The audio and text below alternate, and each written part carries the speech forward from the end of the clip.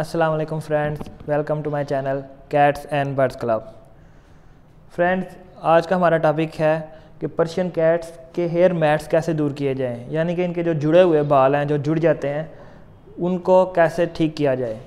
تو اس کا میرے پاس ایک بڑا سمپل سا طریقہ ہے۔ اگر آپ کے پاس، پہلے تو آپ نے اس طرح کی کم بائے کر لینی ہے۔ یہ یہ اسپیشل بلیوں کے لیے بنی ہوتی ہے۔ اور ان کے بالوں کے حساب سے اس کے مختلف سائز ہوتے ہیں۔ تو بڑی کیٹ کے لیے تو یہی سائز چلتا ہے۔ تو اس کو آپ نے کرنا کیا ہے کہ دن میں دو دفعہ اس کو کمبنگ کرنی ہے۔ تو اس کا طریقہ کار یہ ہوگا کہ یہ جیسے میرے پاس کیٹ ہے، تو اس کو سمپل جو سا اس طریقے سے اس کی کمبنگ کرنی ہے۔ اور کیٹس کو اس سے کوئی ایشو بھی نہیں ہوتا کہ اس کو کوئی تکلیف وغیرہ کوئی کچھ نہیں ہوتا اس کو۔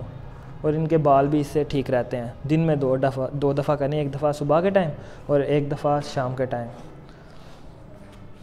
تو یہ دیکھیں، یہ آپ کے سامنے اس کی کمبنگ ہو گئی تو چار سے پانچ منٹ جو سا ہے نا، وہ آپ نے کرنا ہے، زیادہ نہیں کرنا۔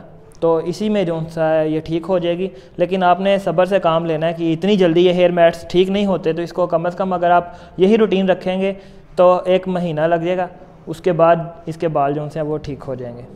اور ان کے جو ہیئر میٹس ہیں وہ بھی اترتے ہیں اور ان کی کئی دفعہ اندر سے سکن بھی نظر آنا شروع ہو جاتی ہے اور جڑے ہوئے بال اتر جاتے ہیں۔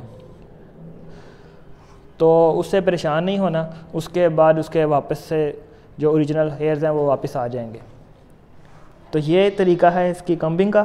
اس سے ان کے بال جو ان سے ہیں وہ جڑتے نہیں ہیں۔